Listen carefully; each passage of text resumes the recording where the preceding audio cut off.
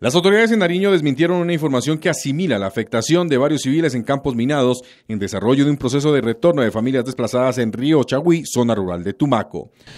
Nosotros desde la institución pública tuvimos la posibilidad de garantizar que los protocolos que se establecen en la ruta para propiciar el retorno se diera cumplimiento en su totalidad. Esto nos permite garantizar que los tres ejes sobre los cuales se construye eh, la ruta del retorno estuvieran presentes. La voluntariedad explícita por parte de la comunidad se presentó. Las condiciones de dignidad se dieron frente a la atención y asistencia que desde las entidades intervinientes eh, pudiésemos estar ahí garantizando que se presentaran.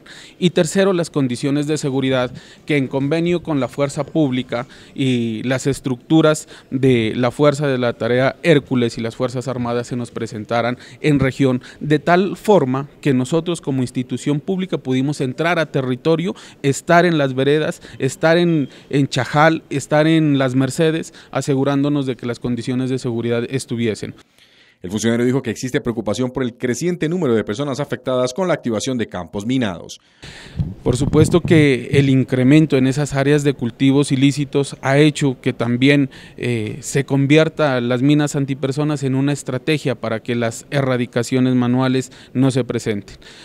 Totalmente comprometidos con ese proceso de articulación y trabajo interinstitucional que se ha venido promoviendo desde la Secretaría de Gobierno y bajo la directriz de nuestro gobernador en buscar unas estrategias que nos permitan reducir estos impactos negativos que hoy enlutan a nuestro territorio. La Secretaría de Gobierno anunció un nuevo Consejo de Seguridad para determinar las afectaciones por campos minados.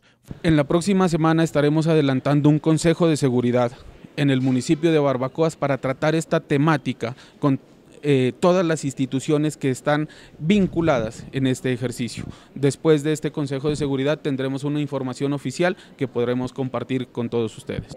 Las autoridades esperan un informe consolidado de personas afectadas por campos minados en esta región del país en el último periodo y el avance de los programas de desminado humanitario que se adelantan en convenio con entidades de orden internacional.